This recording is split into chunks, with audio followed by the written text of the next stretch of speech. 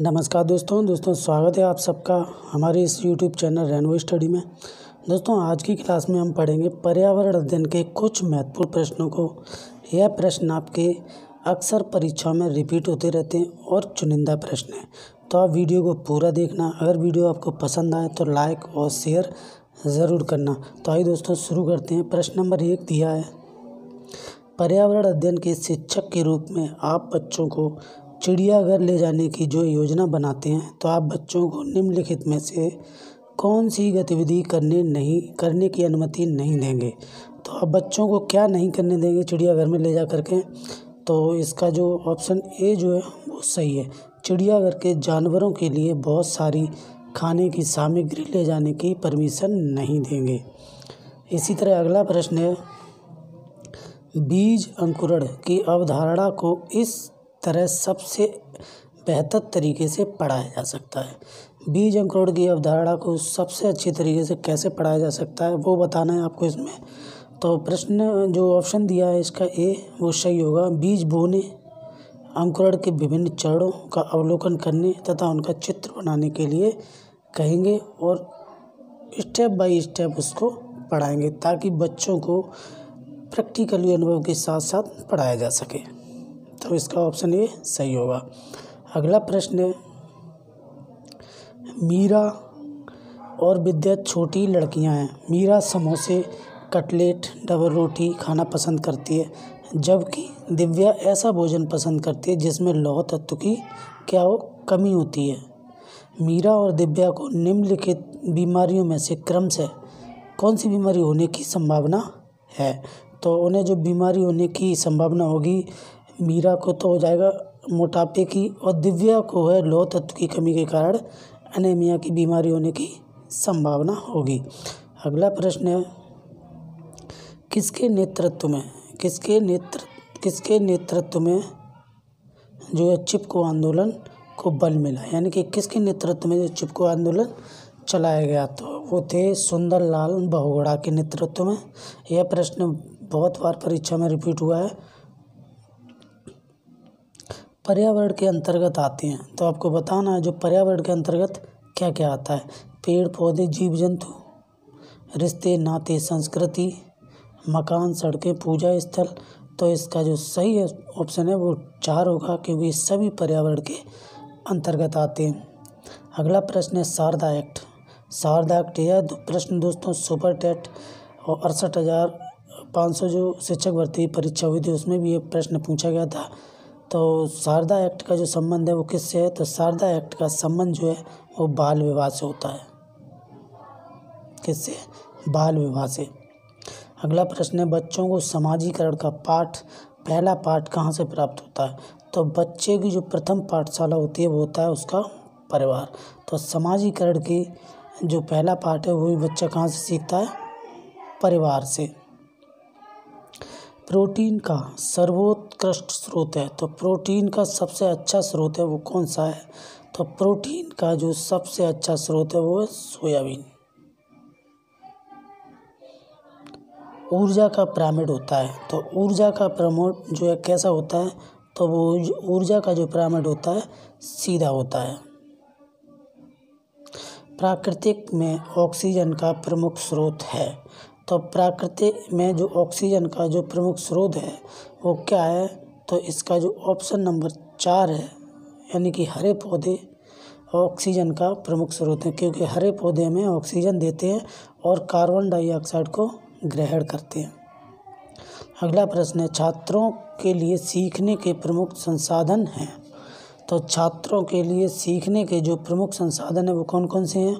विभिन्न क्रियाओं एवं हेतु सामग्री का संकलन ग्रंथालय, सर्वे एवं प्रोजेक्ट निर्माण और उपरोक्त सभी। तो इसका जो ऑप्शन चार है, वो सही होगा उपरोक्त सभी।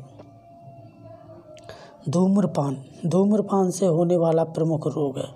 दोस्तों, आजकल धूम्रपान से दुनिया भर में सबसे अधिक मौतें जो होती हैं, वो धूम्रपान से होती हैं और जिसका प्रमुख कारण जो होता है, वो फेफड़ों का कैंसर। कैंसर होने का प्रमुख कारण है धूम्रपान।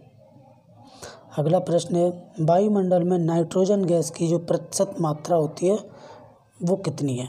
तो वायुमंडल में जो नाइट्रोजन गैस होती है, वो सर्वाधिक अठहत्तर पॉइंट ज़ीरो नाइन परसेंट या कहीं कहीं आपको अठहत्तर परसेंट भी मिल जाएगा।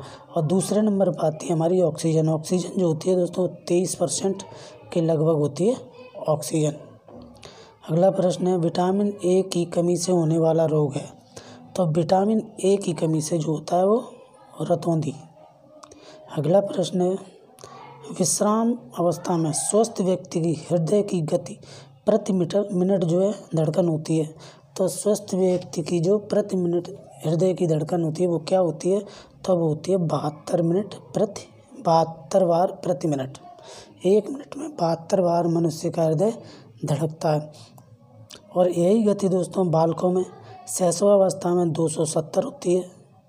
और बाल्यावस्था में जो तीन सौ प्रति मिनट होती है, हृदय की गति लगातार बदलती रहती है। शैशवावस्था में कुछ और बाल्यावस्था में कुछ और किशोरावस्था में ये बहत्तर बार हो जाती है।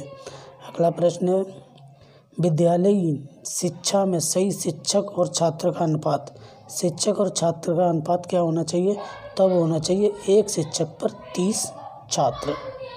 पर्यावरण की पाठ्यचर्या में शामिल होने चाहिए। किसे शामिल होना चाहिए? बच्चों के अनुभव, स्कूल का वातावरण, उपयुक्त पाठ्यक्रम, उपरोक्त सभी।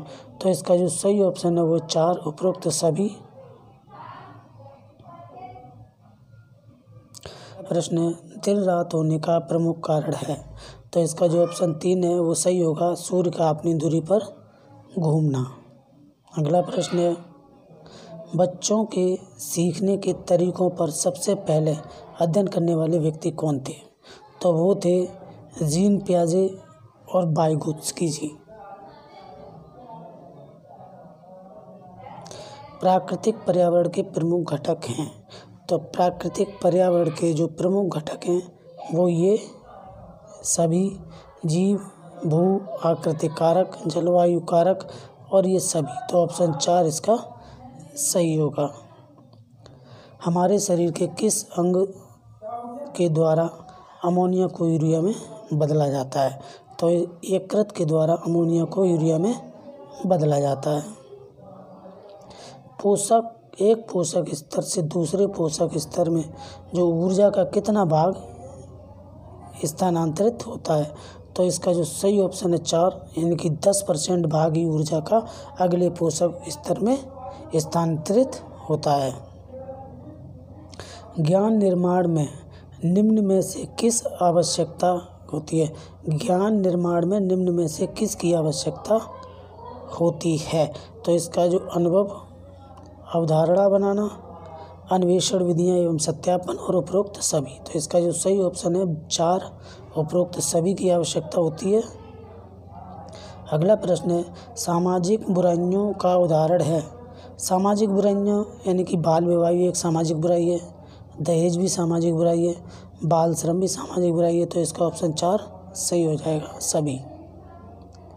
पर्यावरण अध्ययन की कक्षा होनी चाहिए। तो पर्यावरण अध्ययन की कक्षा जो किस तरह की होनी चाहिए तो ऑप्शन ए इसका सही है, गतिविधि पर आधारित होनी चाहिए। तो दोस्तों, ये थे मोस्ट मोस्ट इम्पोर्टेंट पच्चीस प्रश्न। जो कि विगत वर्षों की परीक्षाओं में सबसे अधिक बार रिपीट हुए हैं। अगर आपको हमारा वीडियो पसंद आया हो तो अपने दोस्तों को शेयर करें और लाइक करें और हमारे चैनल को सब्सक्राइब करें, ऐसी ही लगातार वीडियो देखने के लिए। धन्यवाद दोस्तों, मिलते हैं अगले वीडियो में।